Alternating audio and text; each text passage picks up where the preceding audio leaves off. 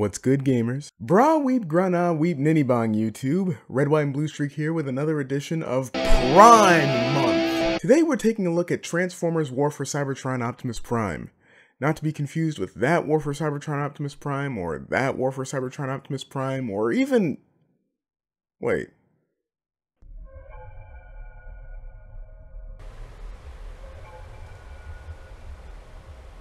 Sorry, that deja vu was way too strong.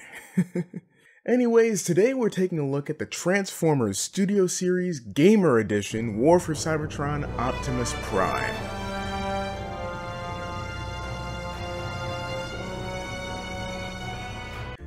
Now, originally I didn't think I'd have this thing in time for Prime Month, and technically I don't because this video's not going to be up before the end of Prime Month, I don't think.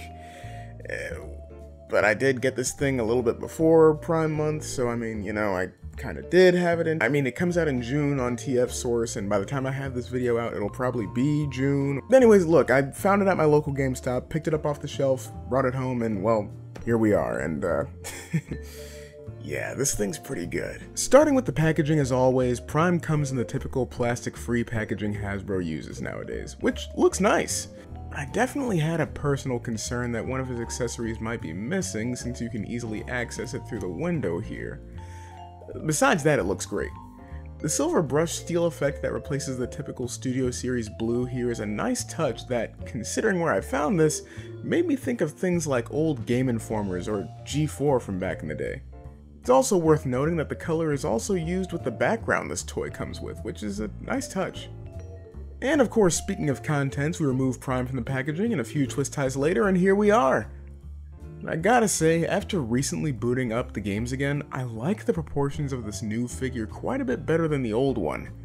Everyone in the High Moon games always looked so swole and angular, with a nice bit of curvature on like the arms or some parts like that which the original toys did a good job adapting, but this newer version of the figure does that even better. I will say, I kinda wish the chest protruded just a little bit more, but this is fine too. It's just, War for Cybertron Optimus always struck me as more of a D-cup kind of vibe.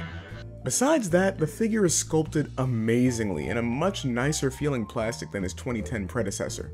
The molded detail on this thing definitely gives the OG a run for his money, though they definitely could have done a bit more on the painting side of things for the new figure. The black chest windows and the red highlights on the original figure are sorely missed on the Studio series, so I definitely plan to customize the second one I'm getting from TF Source. As for the third one I ended up pre-ordering, I don't know, Nemesis Prime or maybe a giveaway, I don't know, I'll decide when the figures get here. But despite my little nitpicks here and there, I definitely think he looks closer to the game model. Even the face sculpt looks a lot better, not to say that the old one was bad by any means, it's just that the new one just does that much better of a job. And the blue eyes are definitely a nice step in the right direction. Makes him feel, um, what's the word? Alive? Kind of back on the side of nitpicks, I kind of wish that they would have used the same or a similar glossy finish that the old figure had, but it's not the end of the world, it's not a big deal. And this is probably the one instance I'll ever say anything like this unless you count each War for Cybertron figure I review as a separate instance, but this is the one time where I kind of wish that the weathering from the Siege toy line carried over to this figure. I mean, that kind of weathering would have been more than appropriate on the War for Cybertron line, or this War for Cybertron line, I should say and it certainly would have looked good on the otherwise bland gun that he comes with. The weapon looks good, don't get me wrong, it's an entirely accurate ion blaster from the game, and I get why he came with it since the ion blaster is Optimus Prime's signature weapon in most continuities. Though I'm not gonna lie, I kinda wish that we would have gotten the Neutron Assault Rifle from the cover of the game. But I think we're getting that with Barricade, so at the very least I can snag that from that toy and use that for the display, but, you know, we'll cross that bridge when we get there. I also kind of wish that they would have given us a more game accurate paint job for the gun. I mean, they've gone through the trouble of giving us the game accurate weapons and allowing us to swap out the forearms for the weapons like they do in the game. I think with the Studio Series line claiming to be entirely screen accurate, the paint job isn't too much to ask. Just more things to do with the custom. It's also worth noting that when you swap out the forearm, there is a place for you to store the forearm on the back of the figure, which is a great idea in concept, it's just that, well, yeah, it doesn't really look the best from any angles, really. Another weapon that could use a bit more of a paint job is definitely the axe. It's really cool they decided to give us an Energon axe in the first place. It's a weapon that Prime uses pretty often in the game, especially in the Kaon level. But the lack of paint leaves a bit to be desired. I mean, this is one of the few times I'd actually want Hasbro to use the transparent plastic they seem to love overusing on their other figures. That being said, the lack of paint isn't the end of the world and it's far from a deal breaker. He looks great with it, and there's even a way to transform the blade, which is a fantastic touch. Speaking of the touch, Prime comes with an addition that I honestly never expected on a Studio Series figure. The Matrix of Leadership. Definitely a bit smaller than what we see in game, but it's still painted really well on the front. Yeah, it attaches by a peg to the matrix chamber, which is fantastically sculpted. And he can't hold it or anything, unfortunately, but it's still a nice thing to have, and I'm glad that it wasn't stolen or anything, because like I said earlier, it's kind of easy access for this thing through the package window. So yeah, the figure looks really good with his accessories, which are a fantastic upgrade from the one not game accurate accessory we got with the original.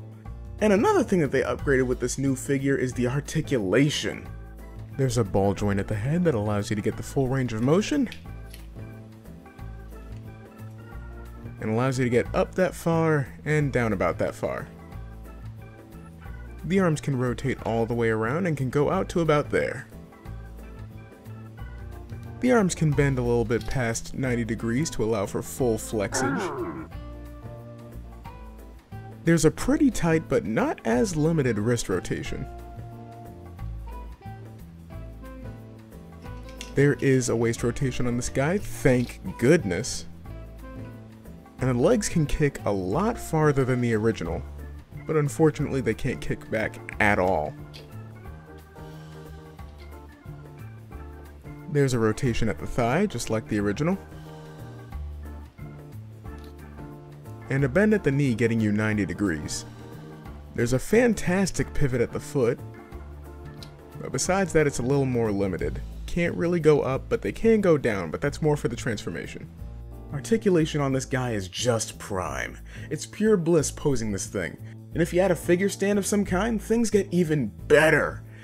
Now I just need a Megatron to complete the look.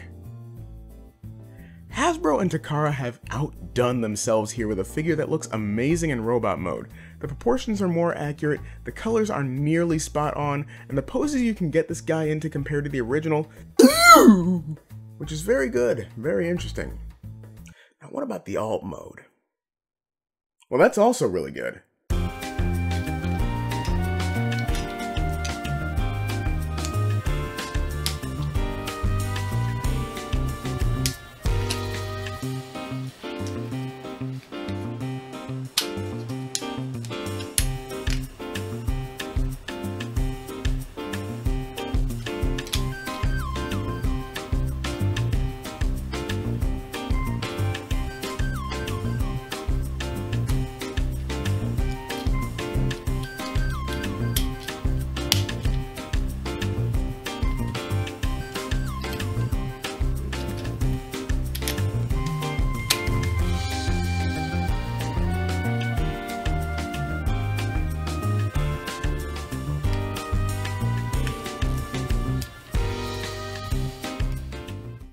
Such an improvement from the original figure. The transformation is appropriately simple and somewhat game accurate, resulting in a mostly accurate alt mode.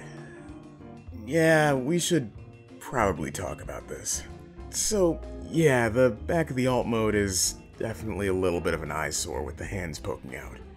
It's kind of odd that they weren't able to figure out a way to get a panel to come out from the back of the leg or just add something to cover up the hole, or at the very least have the hands transform a little bit, you know, pulled away so that it's not as distracting.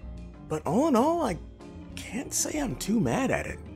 I mean, one, I'm hardly going to be looking at this mode from the back, and two, I'm sure DNA Designs or some other company or someone on Etsy will come out with some sort of kit or 3D print or something to cover up the little hole in the back, and, you know, really just solidify this vehicle mode. And besides, overall, it's a better looking vehicle mode than. Stop doing that! Look, back on the subject of the upgrade kits, I'm sure some of you will say that it's unacceptable for a figure to require an upgrade kit. And I'm not saying that this figure requires an upgrade kit at all. I can just simply not look at the back of the vehicle mode, and I'm not going to be noticing the hands from any other angle besides that. And two, for the price of the figure, an upgrade kit really isn't that bad. Now, if it's a masterpiece figure that requires an upgrade kit, that's a whole nother story. More on that sometime in the future when I get around to reviewing that figure. Prime looks great disguised as a Cybertruck, and a lot of the little details are carried over by the old figure, and, by extension, the game, with some nice additions to further increase the accuracy of this figure. Tesla Prime rolls astoundingly well, and looks great doing it, from most angles anyways. So yeah, along with the back, the vehicle mode also looks a little weird from the front, they try to do this fake chest thing with the part of the alt mode that would have worked better if they just covered the entire front of the vehicle mode in my opinion, since the front window designs don't even fully match up. See, even Hasbro at least somewhat agrees that Prime's got a little more junk in the front. Besides that, there are a few hollow bits when you look at the mode top down, but they aren't too bad to be honest, and I mean, how often are you going to be looking at this guy top down? Still, it's worth mentioning. Also, no visible head syndrome on this guy, so that's nice. And the weapons can go away for storage on the vehicle, and this is perhaps the one place I'll personally give the original a leg up on the new kid on the block. There, the gun, while non-canonical, felt a bit better integrated with the alt mode. Here, it's just slapping the weapons on top of the vehicle mode and calling it a day, which seems to be an unfortunate trend with Transformers figures. Except you, baby girl, you're perfect. So instead I just opt to toss the accessories in the accessories box while he's not in robot mode, and bring them back as I discuss this figure as a complete package. Overall, this is an improvement over the 2010 figure and gets a full recommendation from me. The paint job and colors of plastic used here are pretty good, almost spot on, and overall look almost entirely game accurate, certainly living up to the Studio Series name. The proportions in robot mode look a lot better than the original, and the toy looks a lot cleaner overall. The materials used here are a lot nicer and really encourage you to handle this guy.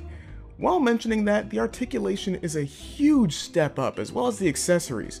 The transformation is also a huge step up.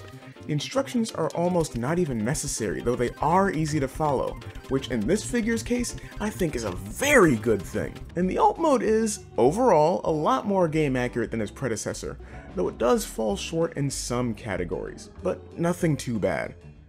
Overall, considering that I consider this an improvement of the 2010 figure, I would be willing to give this a 4 out of 5, though considering the little drawbacks here and there, I can't exactly ignore those.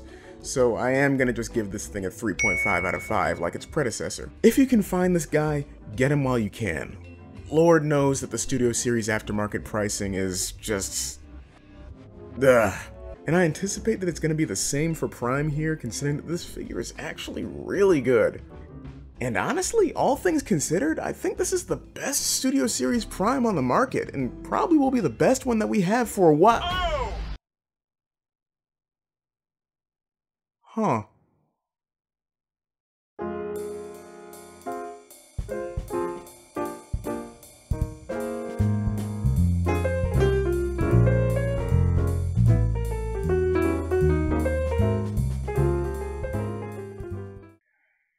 Guys, I think this might be my first 5 out of 5.